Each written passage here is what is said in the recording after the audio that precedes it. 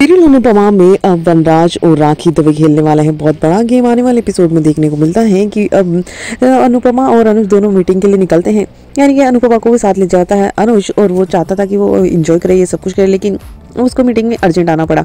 वहीं पर देखने को मिलता है कि अनुज तो मीटिंग के लिए निकल जाता है और अनुपमा होटल में जा रही होती है और बीच में रास्ते में उसकी गाड़ी खराब हो जाती है, वो भी गोइंगा परिवार के सामने। और यहाँ पर अक्षरा और अभिमन्यु से अंदर ले जाते हैं। उसे मंजरी मंजरी के ही कपड़े वगैरह सब कुछ उसे दिए जाते हैं। इसके बाद दूसरी तरफ़ देखने को मिलता है कि राखी दवे टपक जाती है शाह हाउस और वहाँ पर सभी शॉक्ड हो जाते हैं और वो अब किंजल का ध्यान रखने के लिए वही रहती है और कहती है अनुपमा चली गई लेकिन मैं यहीं रहूँगी, जब तक वो वापस नहीं आ जाती। और किंजल कहती है कि वो जानबूझकर नहीं गई है, मैंने उनको कसम दी थी, इसलिए गई है। उसके में राखी दवे वहीं रुकती है तो वहीं पर देखने को मिलता है कि अब अ, समर को कॉल करके अनुपमा सब कुछ बताती है कि यहाँ पर सगाई वगैरह हो रही है और वो इंजॉय कर रही है और समर को समर को खबर दे देती है कि वो सब कुछ ठीक ठाक है यहाँ पर। वहीं पर देखने को मिलता है कि बा बुरी तरह से रोते नज़र आती हैं और वो अनुराग के सामने बड़ गिड़गिड़ाती है और कहती है कि अनुपमा ने हमारा हमें हमारा जीना हराम कर दिया हमें किसी कहीं का नहीं छोड़ा और ना मंदिर जाती हूँ बाहर जाती हूँ हर जगह ताने सुनने को मिलते हैं। मैंने सबका सोचा लेकिन कोई मेरा नहीं सोचता है। वहीं वन राज ये सब कुछ देखकर बहुत बुरी तरह से परेशान हो जाता है तो राखी दवे।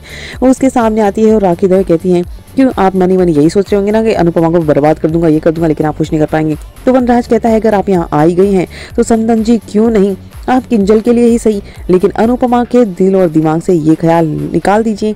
कि वो अब शादी नहीं कर सकती। अनुपमा को रोकने के लिए, यानी शादी से रोकने के लिए अब राखी दवे से हाथ मिला लेता है।